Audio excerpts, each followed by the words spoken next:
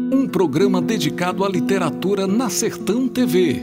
Estreia nesta quarta no canal 180 o programa Leituras, uma parceria com a TV Senado. O primeiro convidado é o escritor e professor Paulo Paniago, que fala de sua trajetória e muitos outros assuntos.